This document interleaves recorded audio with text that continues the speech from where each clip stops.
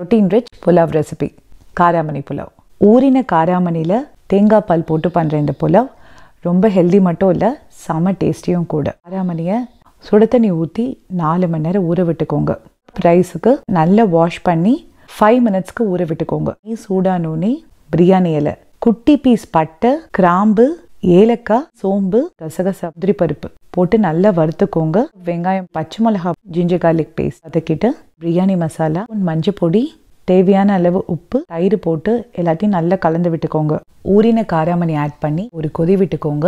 Rice add பண்ணிட்டு திக் தேங்காய் பால் தண்ணி விட்டு கரம் மசாலா கொதிக்க விட்டுக்கோங்க. கொஞ்சம் கொத்தமல்லி நல்லெண்ணெய் விட்டு ரெண்டு விசிலுக்கு ப்ரெஷர் குக் பண்ணிட்டு குக்கரோட ஓசை அடங்கினோடனே திறந்தீங்கன்னா செம டேஸ்டியான காராமணி புலாவ் ரெடி